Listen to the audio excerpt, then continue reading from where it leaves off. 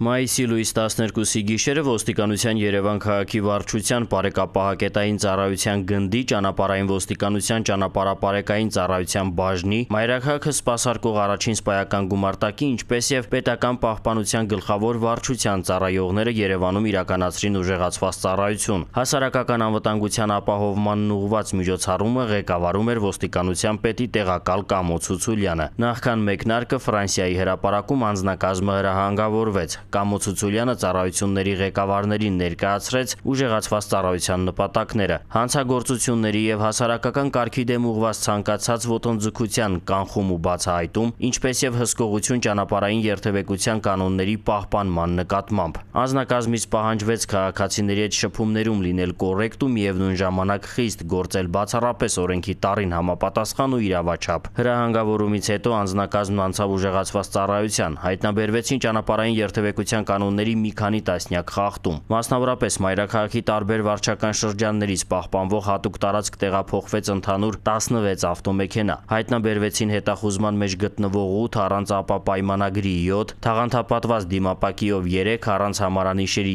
2, փոխարինված համարանիշերով 2, համարանիշը փակված 2, համարանիշերը ոչ սահմանված վայրում փակցված 13 տրանսպորտային միջոց։ Հայտնաբերվեց նաև վարորդական իրավունքի վկայական չունեցող 2 ոչ սթափ վիճակում գտնվող 3 անձ։ Արդյունքներն ամփոփելիս արձանագրվեց, որ ուժեղացված ծառայության ընթացքում հասարակական կարգի կոպիտ խախտումներ կամ միջադեպեր տեղի չունեցան։ Հասարակական անվտանգությամբ մտահոգ ոստիկանության նմանօրինակ ուժեղացված ծառայությունները պարբերական են։